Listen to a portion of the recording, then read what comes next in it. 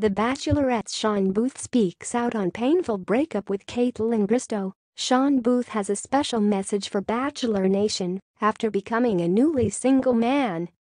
Days after People exclusively confirmed his split from ex-fiancée Kaitlyn Bristowe, the Bachelorette alum shared a statement on Instagram Monday.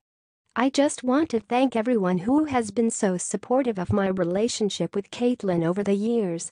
You've made me feel incredibly special, supported, and very loved, Booth, 31, captioned a July 2015 photo of him and Bristowe in New York City shortly after she gave him the final rose on season 19.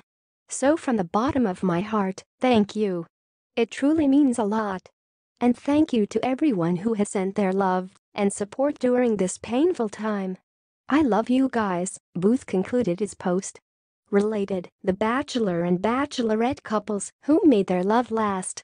Bristowe, 33, and Booth, who had moved in together in Nashville, announced their split earlier this month after three years together.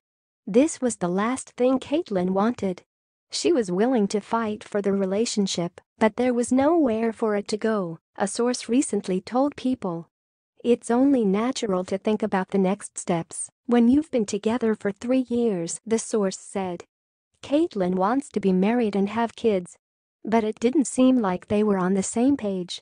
Ultimately, it wasn't one of them who broke things off, the source added, noting that despite the split, Booth and Bristowe are on good terms.